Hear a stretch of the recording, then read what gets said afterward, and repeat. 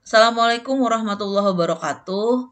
Bertemu lagi dengan saya Nur Habisyah di kelas menulis kreatif pertemuan 9. Hari ini kita akan membahas mengenai menulis naskah film. Uh, teori atau konsep-konsep menulis naskah baik itu film maupun cerita komik dan cerita buku gitu ya sama aja prinsipnya.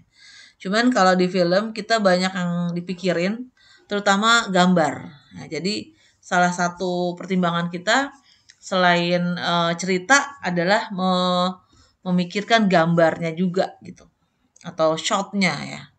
Ini sini ada contoh film akan saya mainkan saat kita kuliah di kelas atau di Jimit. Apa sih film ini? Film artinya apa sih gitu ya? Ini saya dapat dari presentasinya Salman Aristo. Mungkin teman-teman udah pernah dengar ya saya sering banget cerita tentang Kang Salman penulis uh, Laskar Pelangi uh, movie-nya ya. Terus uh, Garuda di Dadaku pada 19 November 2009 waktu saya ikutan workshop menulis skenario. Film itu adalah medium untuk menyampaikan pesan. Film itu juga medium untuk kita bercerita. Di dalam film, seperti orang yang menyampaikan cerita, gitu ya, itu juga harus kelihatan apa namanya uh, live gitu loh. Maksud bukan live, hidup ya. Menurut Sitfield, ini bapak skenario di Hollywood, movie is story told by pictures ya. Artinya film itu adalah atau movie adalah cerita yang dipaparkan melalui gambar-gambar. Nah, ini penulisan naskah ya, saya dapatnya dari uh, Cepiriana ya. Penulisan naskah merupakan pengembangan dari ide yang digunakan untuk bisa juga untuk eksekusi iklan, film maupun program TV. Jadi awalnya tuh ide dulu.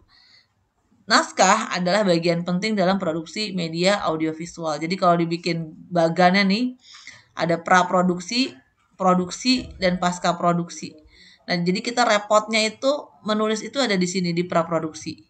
Jadi di sini ide itu dibikin jadi sinopsis, kemudian jadi treatment, treatment menjadi naskah, dan akhirnya syuting. Pegangan uh, syuting gitu ya ada namanya shooting script. Ini tadi ya me melengkapi atau bukan melengkapi, meneruskan uh, Shepiriana bahwa diawali dari idenya dulu. Menulis naskah cerita. Nah, ini cerita. Kalau cerita berarti ada poin-poin yang udah kita pernah bahas, ada intrinsik dan intrinsik ya, ekstrinsik. Apa aja naskah nas, uh, naskah cerita itu uh, poin-poinnya? Ada karakter, ada dialog, ada setting, ada properti, ada make up atau wardrobe, kebutuhan gambar, budget. Makanya kenapa penting sekali kita ngomongin setting. Ini kan setting udah berkali-kali saya uh, jelasin ya, setting itu merujuk pada waktu dan tempat.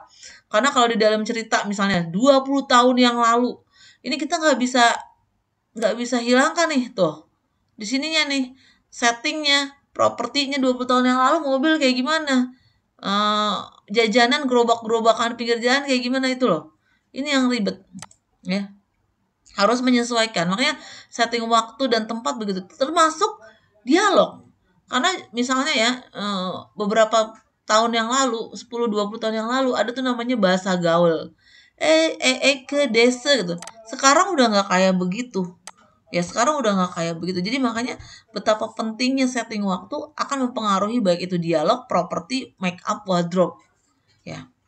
Tren rambut tren make up itu kan juga dari tahun ke tahun berbeda. Nah ini formula menulis cerita sebetulnya ini juga udah saya sampaikan saat kita membahas menulis cerita buku ya. Set up konflik resolusi. Somebody want something badly but having a hard time while getting it seseorang ini merujuk pada karakter want something adalah motif but having a hard time adalah konflik ya dan ini adalah uh, objeknya. Dia mau ngapain? Contohnya contohnya misalnya begini. Seseorang uh, ingin kuliah ingin berangkat kuliah tapi itu tapi kesiangan. Nah itu.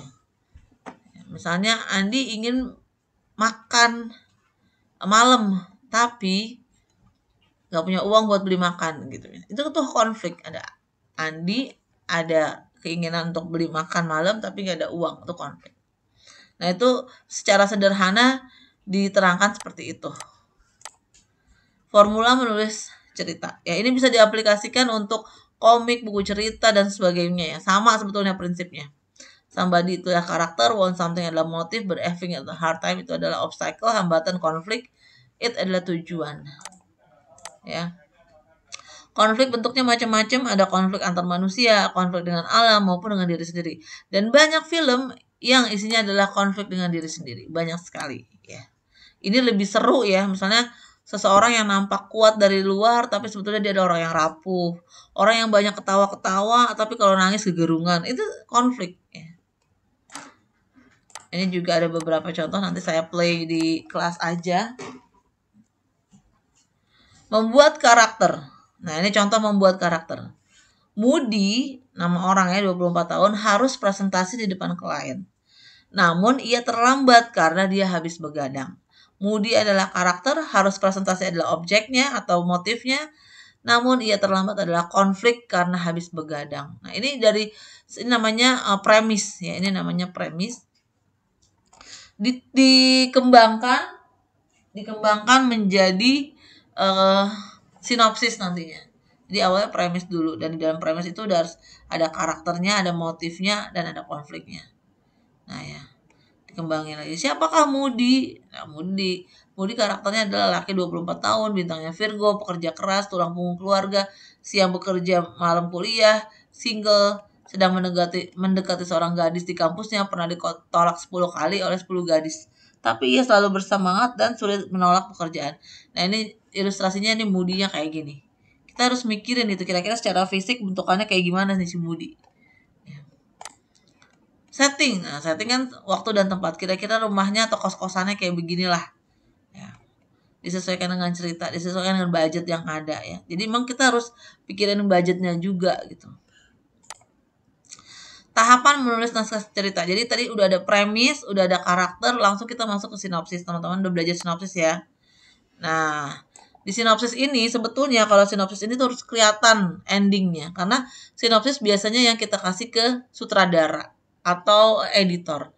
Tapi kemarin-kemarin kita belajar sinopsis itu nggak ketahuan endingnya ya karena buat ke buku. Kalau buku di belakangnya tuh kan ada kayak ringkasannya, nah itu jangan dikasih endingnya. Nah uh, itu namanya blurb. Prinsipnya sama dengan bikin sinopsis, cuma bedanya itu aja. Kalau blurb atau buku, uh, ringkasan buku itu nggak pakai ending. Tapi prinsipnya sama. Skenario ditulis dengan format standar ya. Standar penyiaran internasional semuanya rata-rata sampai uh, begitu bentukannya. Kalau nggak bentukannya tabel-tabel kalau nggak dia pakai format skenario. Kalau namanya skenario biasanya begitu gitu pakai software namanya final draft treatment. Nah, dari skenario kemudian kita bentuk sebagai treatment. Treatment itu bentukannya kayak tabel-tabel tapi nggak ada dialognya. Nanti saya kasih contohnya ya. Supaya apa? Supaya memudahkan baik itu sutradara, kru untuk memahami uh, pengambilan gambar, jadwal pengambilan gambar di hari itu. Nah, ini bentuk-bentuk naskah. Tergantung, sekali lagi tergantung uh, programnya. Kalau dia programnya film dokumenter, biasanya nggak ada dialog. Nah, bentukannya kayak gini. Tapi kalau dia uh, filmnya film cerita yang harus ada dialog, nah, bentuknya beda lagi.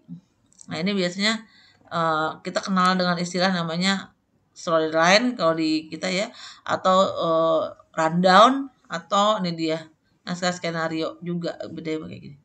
Ya, nah ini nggak ada durasinya nih. Ada yang kayak begini makanya, ada yang uh, bentukannya nggak pakai tabel-tabel ada. Ya mana aja ya. Yang penting uh, kita bisa bacanya kita paham maksudnya. Oke. Nanti bagaimana uh, contoh-contoh yang lain akan saya share di uh, baik teman-teman begitu aja. Mudah-mudahan bisa dipahami dan kalau ada yang ingin tanyakan silahkan. Terima kasih. Assalamualaikum warahmatullahi wabarakatuh